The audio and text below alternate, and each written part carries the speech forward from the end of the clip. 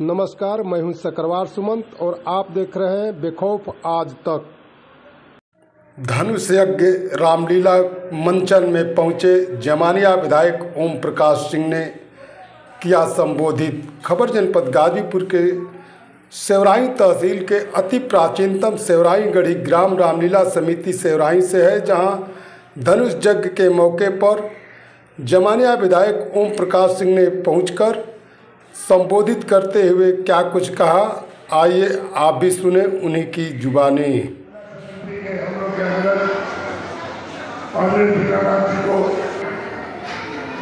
माननीय मनमोहन सिंह जी, जो प्रचार के साथ साथ अभी भी इस समिति के मैं कह सकता हूँ जिनका मैं नाम रहा हूँ जान लोग हैं तमाम समिति के कलाकार साथियों साथ साथियों भाई मन्नू सिंह हमारे घर की चाची तो कभी लोग रहेंगी मामा चाची। दादी तो लगता है नहीं है। बहुओं, बेटियों, छोटे बच्चियों, इधर भी हमारे नौजवान साथियों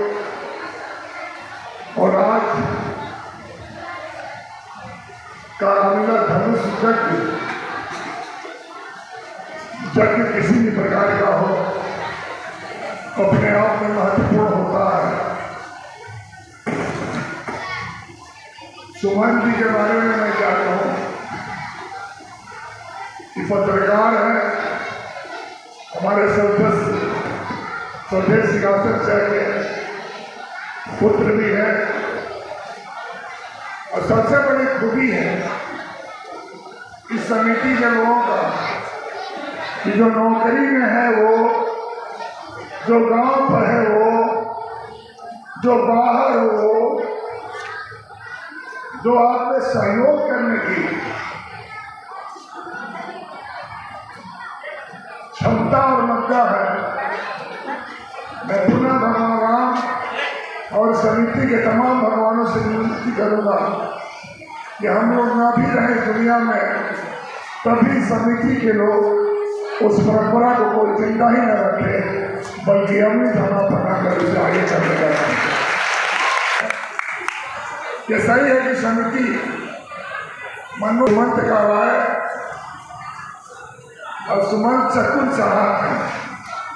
एक चढ़ाक होता है चतुर चढ़ाक होता है। डेढ़ लाख का अलग से लिए, पचास हज़ार आज आज ही पच्चीस हज़ार लिए। पचास हज़ार का एक खर्चा है। पीछे लाइट और भी काम है। शिवराई गढ़ी का ये रामलीला स्थल को इसलिए हमारी बेटियाँ बैठी है। मेरा एक मन में है कि मैं अपने गाँव को बेटियों को कुछ कर पाऊँ या ना कर पाऊँ। लेकिन जब उसके हाथ में मेहंदी रचा कर उसे अपने घर भेज है तो कुछ मेरा भी सहयोग हो। तो उन बेटियों को जाने के बाद कहे कि मेरे भी घर के, मेरे भी परिवार के और मेरे भी का एक संस्था तो हमारे शादी विवाह में सहयोग ही नहीं किया। हमारे हाथ को मेहंदी रचाकर हमारे घर बसाने का काम किया। यह पंडाल और भी सुंदर, ये रोड और भी सुंदर। और गाँव के लोगों इतना मेहनत किया हो तहसील लाने में। अभी ट्रामा सेंटर बनवाने के लिए सुमंते जी के घर के तरफ़ ट्रामा सेंटर बनवा रहा हूँ। ये लोग सहुरात रहेंगे तो ठीक रहेगा और मनु भैया हंस रहा मीडिया है। हम आपके घर के हैं। और ईमानदारी से कह रहा है। कि मेरा एक सपना है। इस गाँव को मैं शहर कैसे बनाऊँ? और इस गाँव को शहर बनाकर इस गाँव को शहर बनाकर ही बनूँगा अभी मैं ठीक ठाक हूँ। मैं अपने बच्चों से भी करता हूँ। अभी दो तीन किसान मेरे घर आए चौराहे के कुछ ऐसी बातें कहे।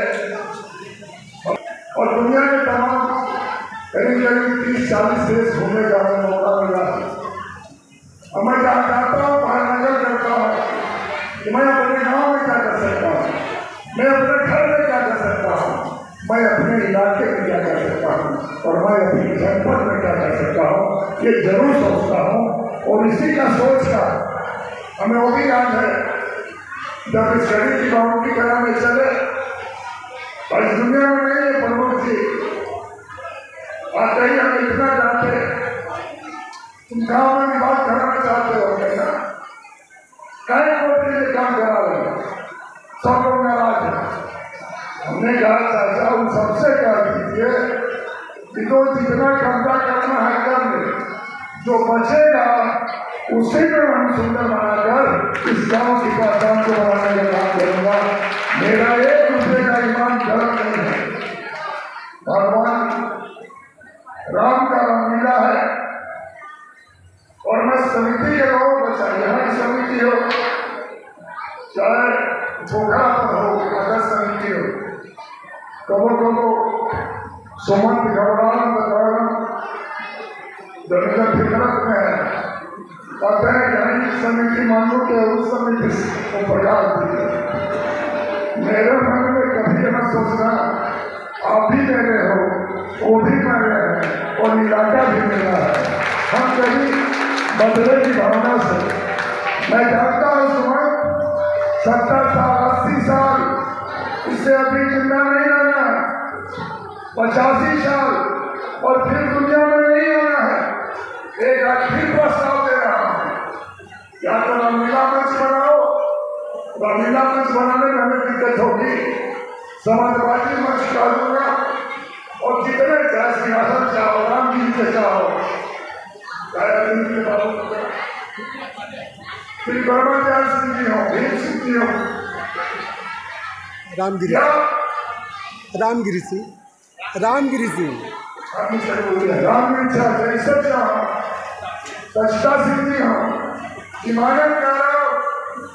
जी। एक फ़ोटो इकट्ठा करो और एक इतना अच्छा मंच बना दो आने वाली नस्लें इन फ़ोटो को देखकर महसूस करे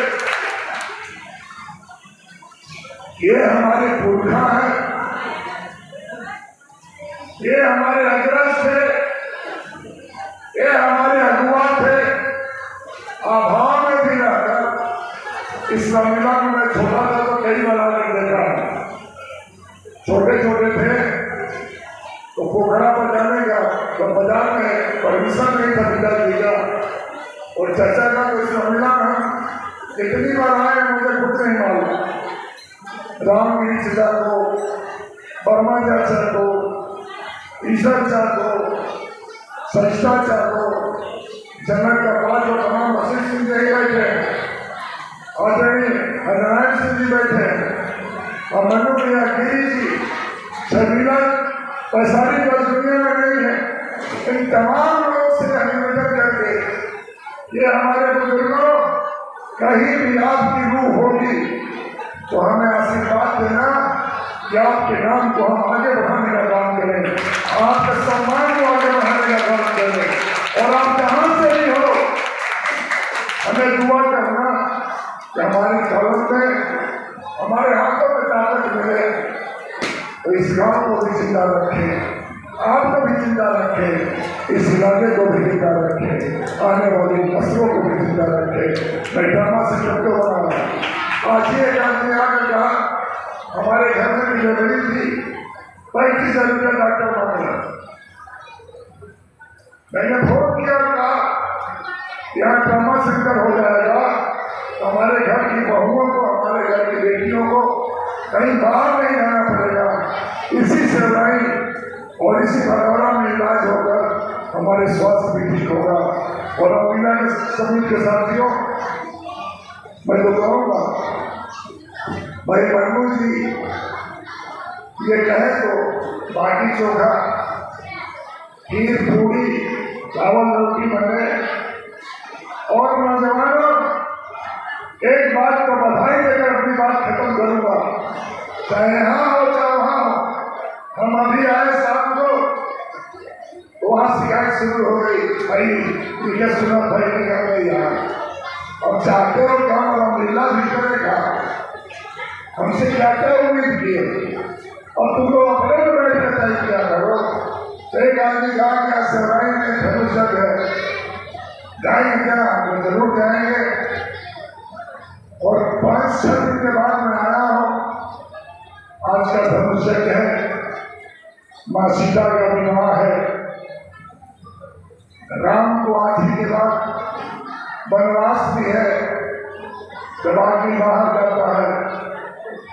तो कुछ करके अपनी प्रतिभा को उठाने का काम करता है। समिति के नौजवानों ईमानत में बहुत खुश रहता हूँ कि पूरा नवरात्र और पूरा रामलीला के समय में हम नहीं कहते कि हमारी रामलीला रामनगर की तरह मशहूर है।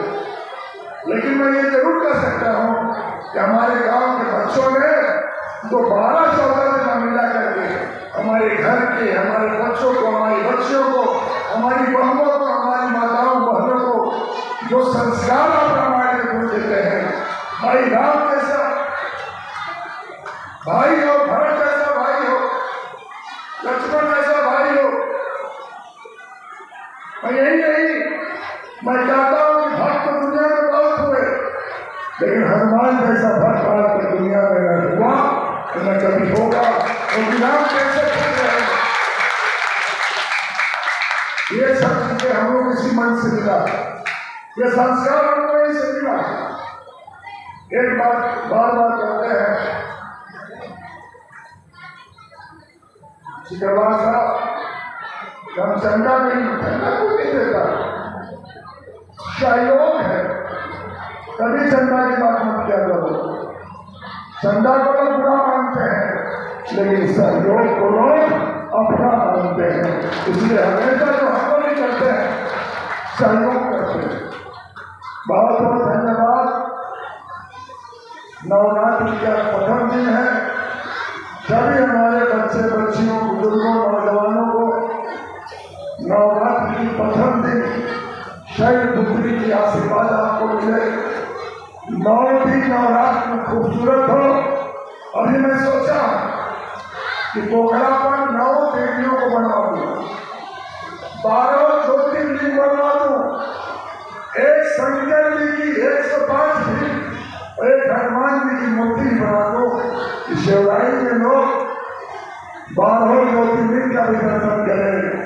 करें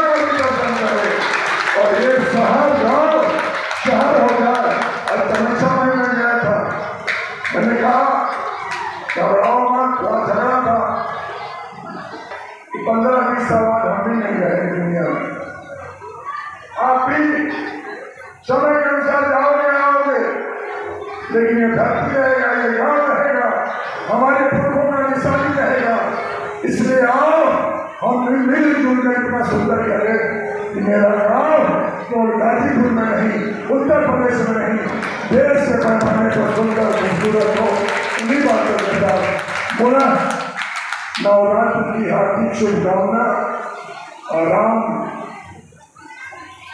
धनुष चक्र की बधाई और शुभकामना के साथ साथ सुमन जी से कहूँगा बार बार खाली दोस्त मत दिया करो कुछ सब लोग की तारीफ़ भी कर दिया करो बहुत बहुत धन्यवाद, जय हिंद। अपने क्षेत्र के तमाम छोटी बड़ी खबरों के लिए जुड़े रहें बेखौफ आज तक से।